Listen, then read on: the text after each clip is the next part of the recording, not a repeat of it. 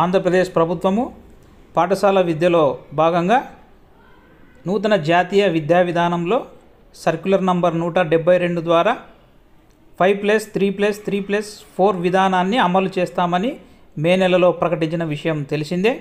అయితే తాజాగా నిన్న జరిగిన విద్యాశాఖపై సమీక్ష పైన ముఖ్యమంత్రి వైఎస్ జగన్మోహన్ రెడ్డి గారు మరో కొత్త విధానాన్ని తెరపైకి తీసుకొచ్చారు.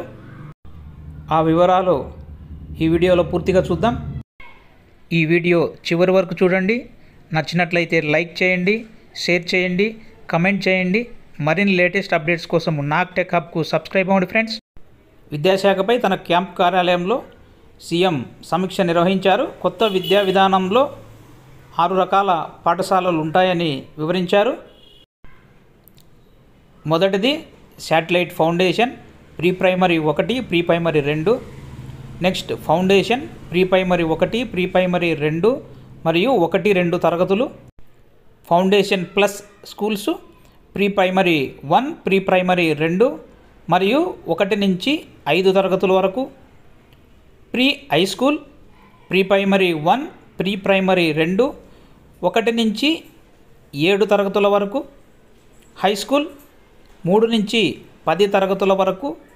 హై స్కూల్ ప్లస్ మూడు నుంచి పన్నెండవ తరగతి వరకు శాటిలైట్ ఫౌండేషన్ స్కూల్స్గా అంగన్వాడీలు ఉంటాయని శాటిలైట్ ఫౌండేషన్ స్కూల్ ప్రతి ఆవాసంలో ఉంటుందని ఫౌండేషన్ స్కూల్స్ ఒక కిలోమీటర్ పరిధిలో ఉంటాయని మరియు హై స్కూల్స్ మూడు కిలోమీటర్ల పరిధిలో ఉంటుందని వీటన్నిటినీ పక్కాగా ఏర్పాటు చేస్తూ నూతన విద్యా విధానాన్ని అమలు చేయబోతున్నామని వారు తెలిపారు.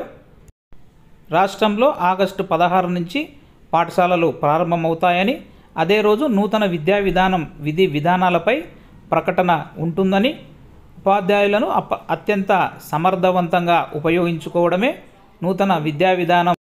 ప్రధాన లక్ష్యం ఆగస్టు పదహారు నాటికి విద్యా కానుక సన్నద్ధంగా ఉండాలని సీఎం ఆదేశించారు. ఇంటర్నల్ మార్క్స్ ఆధారంగా పదవ తరగతి విద్యార్థులకు మార్కులు ఇవ్వనున్నట్లు అధికారులు సీఎంకు వివరించారు. మొదటి విడత నాడు నేడులో అనుభవాలను దృష్టిలో ఉంచుకొని మరింత సమర్థవంతంగా రెండవ దశ నాడు నేడు పనులను ప్రారంభించాలని అధికారులతో సీఎం వైఎస్ జగన్ స్పష్టం చేశారు. నూతన విద్యా విధానంలో అంగన్వాడీలకు మరింత ప్రోత్సాహం కలిగించేందుకు వారికి ప్రమోషన్ ఛానల్ను ఏర్పాటు చేస్తున్నట్లు ప్రతి తరగతికి ఒక టీచర్ ఉండేలా రేషనలైజేషన్ జాతీయ ప్రమాణాలను అనుసరించి చేయనున్నట్లు ఏ స్కూలు కూడా మూతపడకుండా ఏ ఉపాధ్యాయ పోస్టు తొలగించకుండా జాతీయ విద్యా విధానాన్ని పక్కాగా అమలు చేస్తామని సీఎం తెలిపారు.